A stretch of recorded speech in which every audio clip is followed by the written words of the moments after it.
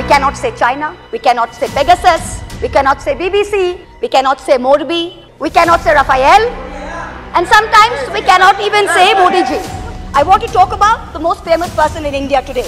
Unfortunately for this house, it is not the Honorable Prime Minister. It is a man whose name starts with an A and ends with an I.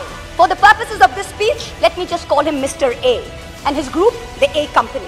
The issue in Manipur is of a hate crime against a particular community where it is understood that police personnel of one community, possibly the same community as the Chief Minister, handed over women of another community to be raped and pillaged by a mob and made every attempt to prevent those women from seeking justice.